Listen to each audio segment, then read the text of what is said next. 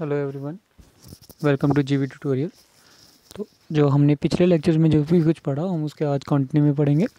तो आज का जो हमारा टॉपिक है, वो है टैक्सोनॉमिकल कैटेगरीज है पिछले हमने जो भी पढ़ लिया, उसके आगे जब आज हम पढ़ रहे हैं नेक्स्ट लेक्चर में टैक्सोनॉमिकल कैटेगरीज तो क्या है, हमने पढ़ा कि जब भी हमने किसी चीज़ को हमने डिस्कवर किया, उसको क्लासीफाई किया नोमन किया, अब जब हम उसको क्लासीफाई कर रहे हैं तो उसको हम अलग अलग कैटेगरीज में क्लासीफाई किया जाता है। हर एक चीज़ को अलग अलग चीज़ में क्लासीफाई किया जाता है। तो अलग अलग क्या है? कैटेगरीज हैं। During classification each and every organism is classified into different ranks और स्टेप्स लाइक हायरार्की जैसे किंगडम है, जैसे राजा महाराजा होते थे तो टॉप में सबसे ऊपर वाला, फिर से छोटे छोटे स्टेप्स होते थे, सबके छोटे छोटे अलग अलग रैंक्स होते हैं, वैसे ही यहाँ पे भी सबके अलग अलग रैंक हैं ईच स्टेप और रैंक इज़ कॉल्ड टैगजोन उस हर एक रैंक को हम बोलते हैं taxon every organism is classified into these taxon according to the similarity and differences between each other कोई भी चीज़ हमने जब डिस्कवर की, उसको नाम दिया है तो हम उसको कैसे क्लासीफाई करते हैं? बाकियों के डिफरेंसेस और सिमिलैरिटीज़ को रिजेंबल करके, उसको रिजेंबल उसको उसके रिजेंबलेंस देखते हैं हम कि किसके साथ वो किसके सिमिलर है और किसके डिफरेंट है। There are different taxons in hierarchy where spe, where species is the smallest and kingdom is the largest group according to the classification जब भी हम क्लासीफाई कर रहे हैं टैक्सोनॉमिक कैटेगरीज पढ़ रहे हैं, उसमें जो सबसे छोटा जो रैंक है वो है स्पीशीज़ का और जो सबसे बड़ा रैंक है वो है किंगडम तो ये हैं आपके different taxons in descending order सबसे पहले है, सबसे जो बड़ा ऑर्डर है वो है, सबसे जो बड़ा ऑर्डर डिसेंडिंग ऑर्डर है ये, सबसे जो बड़ा टैक्सोन है वो है किंगडम उसके बाद आता है फाइलम डिवीज़न क्लास उसके बाद है ऑर्डर फिर जीनस और सबसे लास्ट में सबसे जो छोटा टैक्सोन है वो है आपका स्पीशीज़ तो आप इसको डिटेल में पढ़ेंगे. तो सबसे पहला है आपका स्पीशीज़ तो स्पीशीज़ क्या है? A group of organism which resemble one and other morphologically ठीक है? मॉर्फोलॉजी देखने में एक जैसे हो एंड रिप्रोडक्टिव करेक्टर्स और मॉर्फोलॉजिकली उनके रिप्रोडक्टिव करेक्टर सेम होने चाहिए and which can interbreed within themselves is called species जो आपस में रिप्रोडक्शन कर सकते हैं, उनको हम बोलते हैं स्पीशीज़ अगर हम शॉर्ट में पढ़ें तो स्पीशीज़ एक ऐसा ग्रुप है जो आपस में रिप्रोड्यूस कर सकता है। अगर दो चीज़ें, दो ऑर्गेनिज्म आपके पास वो आपस में रिप्रोड्यूस नहीं कर सकते तो इसका मतलब वो स्पीशीज़ अलग अलग हैं। Take an example of mango its name is Mangifera indica ठीक है? मैंगीफेरा इंडिका है। तो यहाँ पे क्या है? इंडिका क्या है स्पीशीज़ और मैंगीफेरा क्या है? जीनस है। हमने पहले भी पढ़ा था। जब हमने बायोनोमिल नोमेनक्लेचर पढ़ा है कि दो नाम होते हैं। जो फ़र्स्ट वन है वो जीनस होता है और जो सेकंड वन है वो स्पीशीज़ होता है। और इसको देखो, हमने इटैलिक में लिखा हुआ है। ये भी रूल में था। Lion species Leo of genus panthers ठीक है Panthera sorry wild tiger species is tigris of genus Panthera दोनों का जीनस क्या है?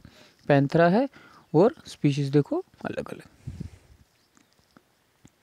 points to delimit a species एक स्पीशीज़ को हम कैसे रिकोगनाइज करते हैं कि वो स्पीशीज़ इस स्पीशीज़ से बाहर नहीं जाना है? एक बॉर्डर लाइन जब बनाते हैं हम डिलिमिट करते हैं तो क्या पॉइंट्स जो हैं हम ध्यान में रखते हैं?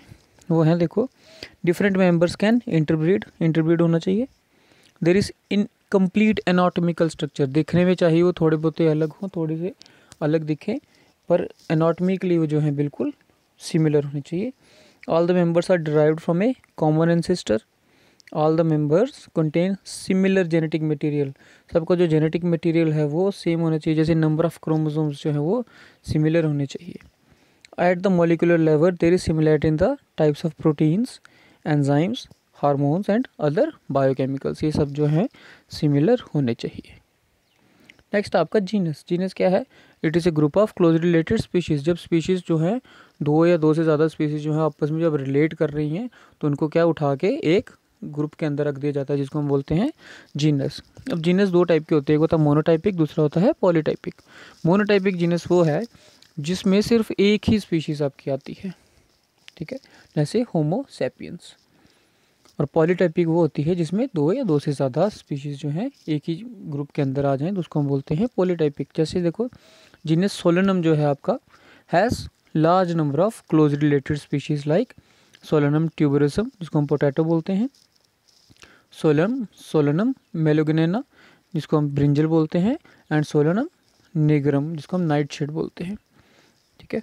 Similarly genus Panthera contains closely related species of lion tiger leopard and jaguar ये सारे किसके अंदर आ रहे हैं? देखो, अभी जब हम उसके नाम पढ़ते हैं हम बायोनोमी नोमिनक्लेचर जब हमने इनको दिया हुआ था क्या क्या नाम इनका? Panthera leo Panthera tigris Panthera pardus and Panthera onca ठीक है, ये सब उनके, उन्हीं के नाम है और सारे एक ही जीनस के अंदर है। अलग अलग स्पीशीज़ हैं बट सारे के सारे जो हैं एक ही जीनस के अंदर। वो जीनस है Panthera different species of cats comes under the genus Felis अगर कैट्स की हम बात करें तो उनको एक अलग कैटेगरी अलग अलग जो है जीनस में रखा गया, उस जीनस का नाम है फेलिस नेक्स्ट है फैमिली फैमिली क्या है? It is a taxonomical category which contains one or more related genus जब जीनस भी जो है, आपस में दो या दो से ज़्यादा रिलेट कर रहे हैं तो उसको भी उठा के एक कैटेगरी के अंदर रख दिया जाता है, जिसको हम बोलते हैं family all the genera of a family have some common features genus Felis and Panthera are included in the family Felidae अब देखो फेलिस और पेंथरा जो है पहले अलग थे, अब उन दोनों को उठा के एक ही फैमिली में रख दिया और फैमिली का नाम है Felidae next is your order this category includes one or more related families अब जब फैमिलीज़ भी या दो या दो से ज़्यादा रिलेट कर रही हैं, उनको भी उठा के ऑर्डर के अंदर रख दिया जाता है। For example families Felidae and Canidae Felidae तो अभी हमने पढ़ा कि उसमें क्या क्या आ रहा है आपका? कैट्स आ रही हैं और लेपर्ड वगैरह आ रहे हैं पैंथरा जीनस आ रहा है और फैलिस आ रहा है। और कैनिडी में क्या आ रहा है? डॉग्स फॉक्स एंड वॉल्स ये जो हैं कैनिडी में आते हैं। और included in the order Carnivora ये सबको किसमें रख दिया गया है? कार्निवोरा में रख दिया गया है। Long with other families like Hyaenidae जिसमें हैनास आते हैं एंड यूर्सिडे जिसमें बियर्स आते हैं आपके ये सारे के सारे जो हैं, जितनी भी फैमिलीज़ थी, इनको उठा के उन्हें, उन्होंने किस ऑर्डर के अंदर रखा है?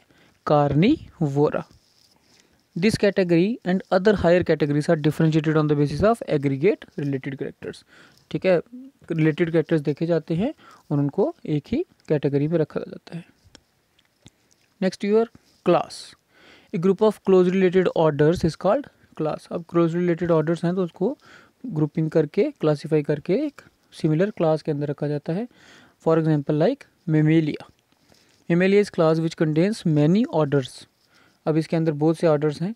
और मेमेलिया क्या है? एक क्लास है। जैसे फ़र्स्ट है कायरोपटारा कायरोपटारा में आपके आते हैं बैट्स मार्सूपिलिया इसमें कंगारूस आते हैं रोडेंशिया में आते हैं आपके रोडेंट्स जैसे रैबिट हो गया रैट हो गया, ये सारे रोडेंट्स में आते हैं एंड प्राइमेटा प्राइमेटा में आते हैं आपके एप्स और मैन ये सारे जो है ऑर्डर जो हैं, ये किसके अंदर आ रहे हैं? मेमेलिया के अंदर.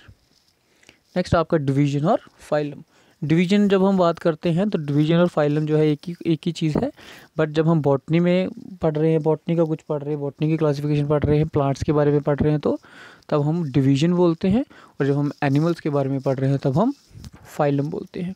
It is formed of one or more classes like phylum कॉडेटा कॉडेटा एक ऐसा फाइलम है जिसके अंदर मैनी मैनी क्लासेस आ रही हैं, जैसे एविस एविस भी एक क्लास है, इसके अंदर सारे बर्ड्स आते हैं। मेमेलिया वो एनिमल्स जो दूध देते हैं, ठीक है, जिनके अंदर मेमोरी ग्लैंड्स हैं और जिनकी बॉडी में हेयर होते हैं, जैसे ह्यूमंस रेप्टीलिया जो क्रॉलिंग एनिमल्स होते हैं जैसे स्नेक हो गया और एम्फीबिया एम्फीबिया वो होते हैं जो ज़मीन पे भी रहते हैं और पानी में भी रहते हैं, जिनका ड्यूअल हैबिटेट होता है। ठीक है? Next is your kingdom it is the highest taxonomy category सबसे ऊपर वाली जो कैटेगरी है, सबसे जो हाई टैक्सोन है, उसको हम बोलते हैं किंगडम ठीक है? दो किंगडम जैसे हमने इधर एग्जांपल ली है किंगडम प्लांटी है और किंगडम एनिमेलिया प्लांटी में सारे के सारे प्लांट्स आ जाते हैं।